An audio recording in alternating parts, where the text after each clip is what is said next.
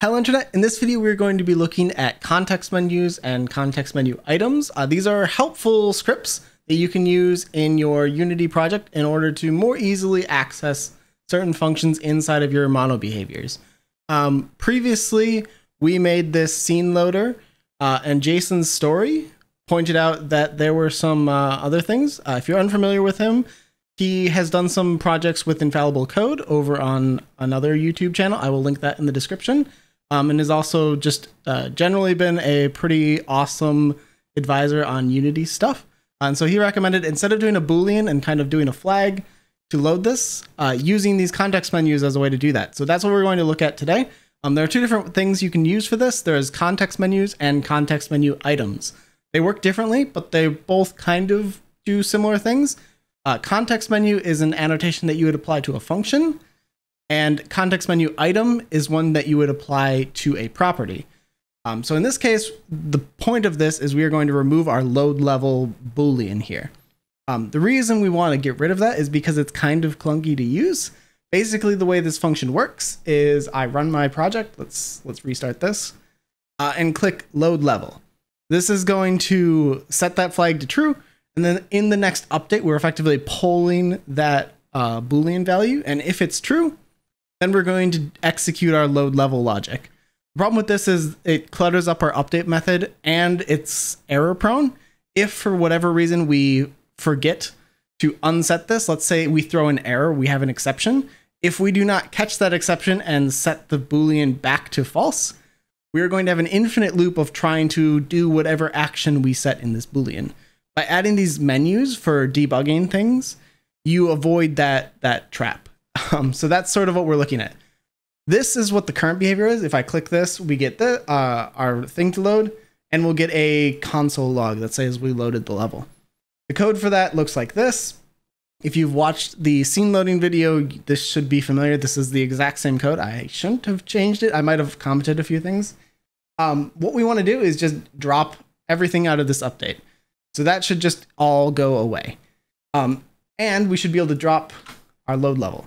So that should go away as well. Since we're getting rid of that, let's just start deleting things. Uh, the good thing, this is going to cause a whole bunch of errors. I said there were two ways to do this.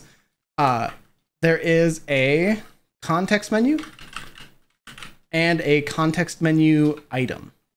So context menu is going to apply to a method or a function. Uh, in this case, it would apply to the update because that's the next thing. Um, the other one you would apply to say level name, and say context menu item. This is more complicated. Um, what this is actually uh, doing is assigning a function to this item. So you would right click the item in your thing. We're going to do both, but you would right click this uh, item and use that as a way to kind of reference a function from there. Um, so in this case, we're going to add a context menu item that's going to say uh, load level, and that's going to invoke some uh, do load level, or let's say editor load level. Again, this is kind of clunky in, in how we're doing this, uh, and we're going to actually iterate on this a little bit as we move forward, um, but this should work for us for now. So we need a editor load level function. That second string, this function string, needs to match the name of whatever function it is. Um, this using strings, I do not recommend. This is how Unity would do it in their documentation. Uh, I recommend not doing that and using the name of function. I will show you how to do that. Um, but the problem with doing strings is if we try to refactor this, uh, it's not going to work. We're, we're going to miss that string. Uh, so void editor load level. This is our new function. Uh, you cannot have values be passed into this. That, that doesn't work it will it will throw an exception because you need to match the signature. Uh, and there is no way to pass parameters that I've found into this. It can't infer this and use that as like the first parameter or anything like that. That that is that just isn't a thing. Um, so that's why I'm calling this the editor load level because typically I'm assuming if we want to load a level, we actually are going to want to pass in some some name of something. Uh, so that is how this is going to work. What we're going to do is call out to our start coroutine like that. And we should be good. I'm going to just remove that extra scene load. And there we go. So this is our coroutine to do to do the level load. Uh, anything that you want to call in this, you can debug and log some functions or do whatever. Any function will work. Um, basically, we're just going to execute this function whenever that menu item is clicked.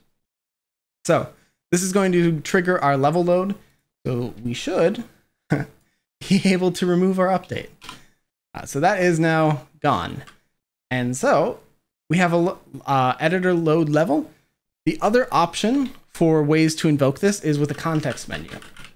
Um, so if you do context menu, I believe you can give it a name like this. Uh, and I priority, I believe that's used for ordering in the list. Um, but uh, the item name is just going to be what the thing actually appears as. That's the same as the top thing, the load level. Um, so we're just going to call it the same thing, um, but we'll call this our context menu. Uh, this will let us kind of figure out which one is which. Um, you probably don't need both of these. There's probably some way that you prefer to work with this, and this is only going to be useful in your editor. Um, so however you you work best, pick one. Um, if you need both, then go for it. Um, I had mentioned using a something other than a function, or using something other than a string here. C Sharp provides something called the name of operator that will get you the name of a class or a function or a property or anything like that. It will turn that uh, C Sharp object or reference into a, a named representation of itself in, in a string. And so you can use that instead. The advantage is if I go here and right click and refactor and do a rename on this editor load level, and we'll just say editor load level two. Uh, I could be wrong here. ReSharper, I'm using ReSharper here, may catch this. Uh, but I don't think it will. I did. Okay. Well, ignore this example because this didn't work. Uh, but most code editors are not going to catch this. This is not something that most things are going to look for. Um, so if you do, are using Visual Studio Code or something like that, there's a very good chance that you're going to overlook that. So if we rename this using one of those functions, this is not going to get found, uh, especially if they end up being in different things. Uh, that's usually not a, a, shouldn't happen in this circumstance, um, but it can. So this is sort of how all this ends up looking. We have two things that can invoke this editor load level. Both of them should cause it to load the level. Uh, so let's do that. um, whoa. Yeah, there we go. We, we broke it. We loaded the level like a thousand times. Oops. Um, all right, let's start this. And we should be able to see two things. So the first one you access by right clicking on level name. So this is the property that we attached that context menu item to. It will only appear on the name of it. So if I right click over here, you'll just see cut, copy, and paste. Um, but if you click the name, load level is that context menu item. Then in the top right, there is this little three dot thing. That is going to have our load level context menu. So this is the context menu for your mono behavior. The other one is specific to that property. I believe you can add multiple of the context menu items. Um, so if we wanted to, we could come in here and do load level two. Uh, I'm going to call the same function uh, just because I can. But we should be able to do this. Um, Unity will order these in some way that it thinks makes sense. Uh, you can change these by some format that I don't understand uh, or haven't looked up, rather.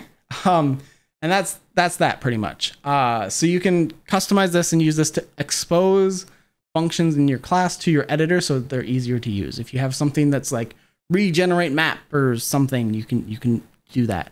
For us, it's just we need a way to debug loading levels. This will do it because we don't actually have a UI in our game yet. We can't actually interact with our game. So we're adding them this way so we can still interact with things without having to do that. Um, we're probably going to use these a lot more actually. Um, but this is how this works. If we click this, we execute our code and load our level. So now we have that sphere from scene B on top because we said load scene B. Uh, if I change this to scene A and do this again, now we have two cameras, two scenes, and everything is mad at me because I, I added two cameras um, but it works. Um, so th- this is this is basically how all this works. I had mentioned using name of. When you're doing that, uh, you just need to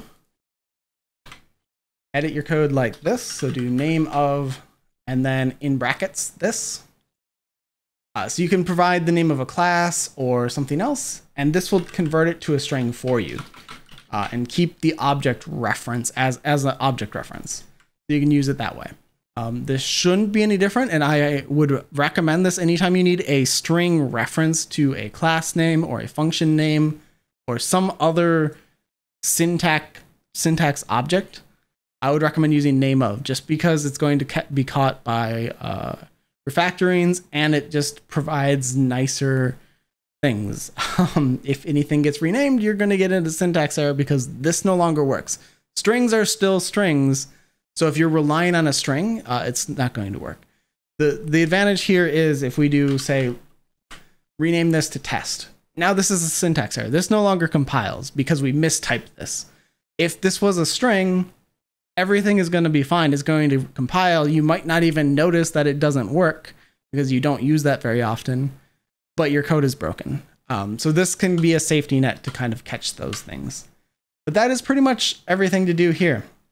Uh, it should work the same way, regardless of whether you use the context menu item here or the context menu in this case.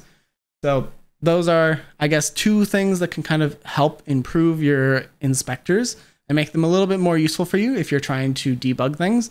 Uh, so thanks so much for the suggestion, Jason, and uh, go check out some of the stuff that he has shared uh, because he's he's pretty insightful on all sorts of different Unity things. Um, but that's that's it for now. So I guess until next video, I will see you then. Yeah, that was a good outro. all right, see you, internet.